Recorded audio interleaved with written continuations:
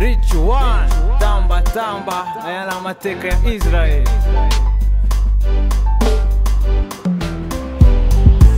Bifuje ko twavaho iryo shanga rigashira twirukankanwa turi bato. Ibyo bikorwa n'abaturanyi. Twakabaye dufatanya. Tukubaka iwacu heza. Nyamara ntibamenye ko ubigaba atarenganya. Ikaze inshuti bakunzi ba umurage tv tubaha ikaze mwese. Mukomeje kudukurikira abari impande n'impande abari hano muri leta zunze ubumwe za amerika abari muri europe canada australia ndetse na afurika dukomeje kubaha ikaze kandi dukomeje kubiyegereza mu biganiro byacu bitandukanye dore yuko mugenda mudukurikira kandi mukatwereka yuko turi kumwe. Dushimiye abantu bakunze kuduha amakomenti n'ibitekerezo rero akaba ari muri urwo rwego. Hari n'abadusabye kubazanira umuhanzi cyangwa se umuririmbyi uherutse gusohora indirimbo yiwe tukaba tugiye kuganira nawe agire byinshi adusobanurira ndetse agire n'ibyo abwira abakunzi be basanzwe bakurikirana ibihangano byiwe. Rero kuri mikoro muri kumwe na Oze Ruhumuriza reka dutangire atwibwira amazina ye umutumirwa w'uyu munsi. Watangira wibwira abagukurikiye kuri Umurage TV amazina yanjye nitwa shikiro richard cyangwa se rich one. Iryo zina ry'ubuhanzi. Ah, Richard wavukiye hehe? Twibwira umwirondoro wawe. Iwanyu ni hehe? Navukiye ahantu bita kuri gitavi. Ya- kuri Gitavi ni hehe neza? Ni ahantu hamwe mu misozi myinshi nk'uko natangiye mbivuga muri iyi ndirimbo yanjye. Ya, ni ahantu mu misozi myinshi ni mu bice bya Minembwe? Minembwe aho ngaho i murenge. Yes. Mm. urakoze cyane. Ndumva rero abanyaminembwe uyu ni umwana wanyu. Ah, reka rero dutangire kwa- uherutse gusohora indirimbo. Iyi ndirimbo yawe ni indirimbo yatugezeho yitwa ishanga. Niki cyaguteye kuririmba ishanga. Ishanga bisobanuye iki? Iyi ndirimbo yawe iri mu buhe butumwa? Ah, ishanga navugaga nanditse indirimbo yanjye yitwa ishanga. Yavugaga nyine ku ishanga runaka navugagaho ishanga na by'abanyamurenge niko navuga. Niyo ni ho nakuye inspiration yanjye. Ni indirimbo nanditse mu minsi ishize. Ubwo habayeho inkuru zavugaga ukuntu nyine murenge aho hantu abantu batewe bakabanyaga bakagira gute abaturanyi babo kandi atari abandi bantu babateye. Rero nari maze iminsi mbitekerezaho ni ibintu bimaze igihe biba. Rero kiriya gihe byabaga rero numvaga amakuru ni bwo noneho nakuye inspiration nandika iriya ndirimbo. Mhm. iyi yaba ari indirimbo yawe ya kangahe? Ya kane cyangwa iya gatanu. Mm. abantu benshi wenda natekereza ni ubwa mbere twe tubonye. Okay ni ubwa kabiri iyi ni indirimbo yawe kabiri tubonye. Ariko ah, muri iriya ndirimbo uburyo muririmba abantu benshi hari uburyo badasobanukirwa cyane cyane amagambo arimo washatse kuririmba. Wogerageza ukadusobanurira nubwo uvuze ngo byatewe n'ibibazo byabaye hari ariko hari ukuntu uvuga neza abantu ntibashobora gusobanukirwa. Tubwira muri make mesaje washakaga kuvuga muri ya ndirimbo yawe? Ah, message yanjye nashakaga kuvuga urebye muri rusange nagaruka kuri korasi nanditse message yanjye navugaga ko hariho hariho abantu ishanga ba- abaturanyi babo bahora barwanya ni inkuru igaruka ku bantu benshi byagiye bibaho ahantu henshi. Rero mvuga ko ba- abaturanyi bahora bifuza ko barwana batakumvikana ariko kandi nkavuga yuko ntanga ubutumwa bubwira yaba abo baturanyi yuko buriya dufatanyije tukubaka iwacu heza bakubaka iwabo hamwe byabera byiza yaba abo baturanyi bose babyungukiramo. Ubuhanzi bwawe watangiye kuririmba ryari? Mm, natangiye kuririmba amaze igihe kinini. Ah, natangiye kuririmba na mugenzi wanjye n'umufurendi wanjye. Twakoze itsinda ryitwa stone family. Uwo ninde yitwa patience ni we dukorana aba muri ohio cyangwa se muragwa Ya, twatangiye navuga bibiri na cumi mm, ya nairobi ni ho twatangiye rero tukajya twandika tugenda du- sitiri uririmbamo ni iyihe? Nkora injyana ya rap. Ya u- mu ndirimbo zawe byagiye bigaragara yuko urapa ariko hari ukuntu mu banyamurenge batamenyereye ah, izi ndirimbo nk'izi zitari zo muri korali. Nkawe babyakiriye bate mu muryango wawe ndetse n'abandi bantu? Bakiriye bate ko uririmba zino ndirimbo? Ah, nkeka yuko sitire cyangwa injyana ubu bantu babaye batazi injyana ntabwo ari ikibazo ntabwo wabibarenganyiriza ni cyo rero abantu bamwe runaka bafata decision bakavuga ati ikintu ntabwo kizwi bakaba ba- bakaba ari bo bagitangira. Iyi njyana rero kuba wenda batayimenyereye bazayisobanukirwa wenda ni mu njyana yanjye cyangwa nibaguma kumva indirimbo zanjye ariko icyo navuga bayivugaho wenda barashobora kuyivugaho bitewe n'imyumvire yabo. Umuntu ashobora kuba afite ubumenyi runaka ku kintu wenda ashobora kuba yumva ikintu negatifu atari ko kiri ariko rero navuga umuntu wese wumva yuko iyi sitire yayifata gutyo negatifu noneho namuha challenge. Namubwira atazagende yumve izi ndirimbo zanjye nasanga ko ku indirimbo ndirimba muri sitire ah, ziri negatifu azayifate gutyo. Ariko nasanga yuko yibwira yuko injyana uko ayifata agasanga si kwiri. Ya rero ni byo ndimo ndakora. Ni izihe mbogamizi mugira ah, muri iyi mu- mu- muri industry yanyu ya- ya Ah, muri industry harimo imbogamizi nyinshi haba harimo amakata menshi yaba muri mu bantu nyine ba bakira iyi music haba hari imyumvire itandukanye ariko imbogamizi ziba ari nyinshi hariho kuba wakora indirimbo birakugora. Buriya hari ikintu kigoye cyane kurusha kuba wakora indirimbo abantu bakayifata gutya no kwandika indirimbo buriya ni, ni ikintu kigoye. Tugaruke ku mugenzi wanyu mwaririmbanye. Ah, tamba tamba Duhe- ni iyihe mikoranire yanyu na tamba tamba Tamba Tamba navuga ko ni umuhanzi mugenzi wanjye dusanzwe tuziranye kuva kera nyine aho twatangiriye Nairobi kera yakoraga umuziki tugakora umuziki turi inshuti rero maze kwandika iyi ndirimbo natekereje yuko namwegera akamfasha muri korasi mu buryo bw'imiririmbire ntabwo njyewe ngushoboye. Ndavuga ati rero nubwo buryo namwegereye namubwira ati wowe dukorane amfasha mu buryo bwa korasi rich one. Mu buryo bwa production biraborohera.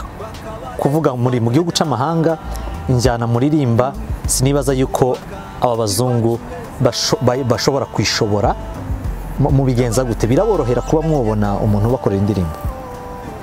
Indirimbo imwe ku yindi usanga yakozwe mu buryo butandukanye. Ntabwo byoroshye ntabwo navuga ko byoroshye usanga sometime bisaba yuko ukorana n'abaproducer batandukanye kandi bari ahantu hatandukanye. Rero ntabwo ntabwo biba byoroshye. Tuzi abahanzi bari hirya no hino abo bita ba ndondo um, abo bita ba DJ Shaka hari n'abandi basore bitwa uh, BFB so a- abo bose namwe na batamatamba Rich One hari imikoranire mufite ku buryo mushobora kuba hari ikintu cyanyu mufite? Twavuga ngo aba ni abana b'umurenge bafite industry yabo ya music. Hari imikoranire mufite mufitanye mwese? Ntayo navuga kuri ubu ntayo. Ariko mu buryo bugaragara ah, ntekereza n'icyo abantu bakwifuza bibaye byiza ah, mukoranye byafasha cyane kugira ngo ubutumwa mutanga bubashe ku- kugera kubo mwifuza kubaha. Dore ko mwese ubutumwa bwanyu buja gusa. Akaba ariyo rekomandasiyo dushobora guha aba- aba- abacuranzi bagenzi bawe cyangwa se abaririmbyi bagenzi bawe. Richard tugera ku musozo ufite abafana benshi bagiye bagukurikirana. Ni ikihe kintu ubu nyine uteganyiriza abafana bawe? Wasohoye indirimbo iri audio. Videwo ni ryari? Ah, videwo nababwira ngo bategereze tuba turi kubitekereza urabona iyo ukoze audio videwo na yo n'indi processes ndende bategereze bazabona ibindi bikorwa mu minsi iri imbere. Mesaje ya nyuma ushobora kubwira abakunzi bawe? Ya nababwira ngo abakunzi banjye muri rusange cyangwa se abakunzi ba b'umuziki nyamurenge usibye ko nyine harimo imbogamizi zo kuba abantu batawumva bakibwira yuko buriya umuziki ikintu navuga music ni, weapon ikomeye buriya abantu abantu- abaririmbyi tuzi ba- bagiye bafata music bayikoresha nka weapon ba- ba- babasha kuba bahindura society babasha kuba batanga message runaka mm, nk'uko umubwiriza mu rusengero ashobora kubwiriza abantu nk'uko umuyobozi w'igihugu ashobora kubwira abantu ibyo ashaka kubabwira. Rero muri rusange navuga ngo music buriya ni ifite way zayo ziri positive nubwo abantu benshi bashobora kuba batabyumva. Rero ni muri ubwo buryo nka nkanjye na uwo mugenzi wanjye turi kumwe muri stone family turacyafite ibintu byinshi duteganya gukora inyuma n'imbere kandi dukorana n'abo ba- bagenzi bacu bandi b'abahanzi nk'uko wabivuze. Navuga ngo ibyiza biri imbere. Yeah. Rich One reka timu ya umurage igushimire ku kiganiro uduhaye. Turagushimiye cyane. Ubutaha nitukwitabaza uzatwitabe.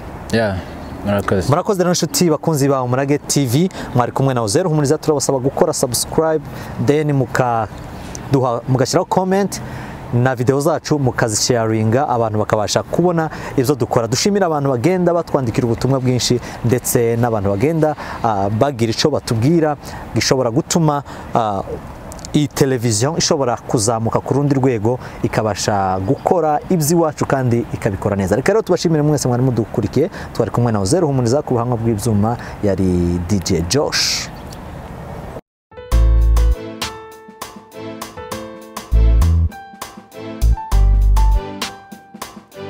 Uh, Stone Fame once again.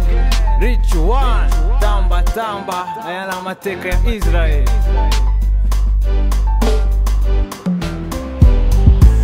Bifuje ko twavaho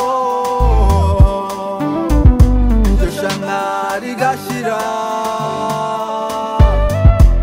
twirukankanwa turi bato. Ibyo bikorwa n'abaturanyi. Twakabaye dufatanya. Tukubaka iwacu heza. Nyamara ntibamenye ko ubigaba atarenganya hariho ahantu mu misozi myinshi. Hakabaye ishyanga ritazi iby'iterambere ubukire bwabo bukaba ubushyo bw'inka. Kumwe bya hano w'intambara ziragwira. Bamwe barahunga abandi baragenda. Life buri munsi ari nka. Next episode ya prison break. Watu nairobi watu kampala watu bj watu kwa makemp maisha si mazuri life ya process ntikabangamirwe ituma benshi biheba. Ah, izo nkuta wubaka iyo ariko zaraguye. Ah, mpora numva nshaka kubaza ibibazo. Ah, ndavuga nciye iyihe nzira? Mfate beat powere medite nyishwanyaguze makofone nyivune vuga ibyiza story. Bwira abato bumve kuko utazi yava iyagana ntaho. Iyagana ntaho. Bifuje ko twavaho. Iryo shanga rigashira twirukankanwa turi bato. Ibyo bikorwa n'abaturanyi. Twakabaye dufatanya. Tukubaka iwacu heza.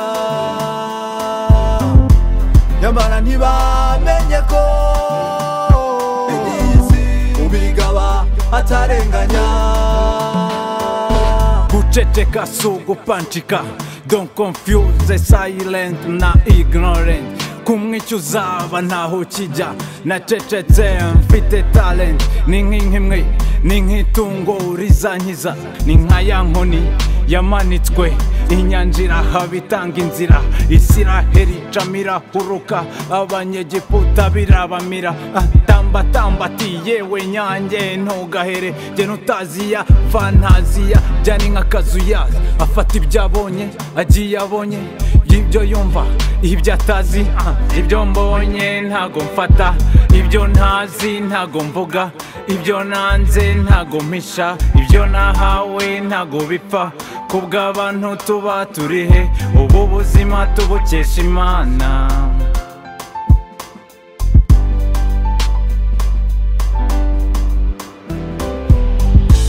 Bifuje ko twavaho.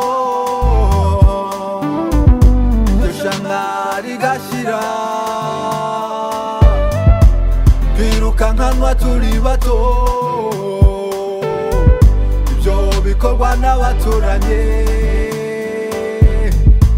twakabaye dufatanya.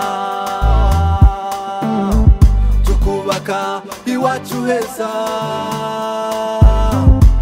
Nyamara ntibamenye ko iyi si ubigaba atarenganya.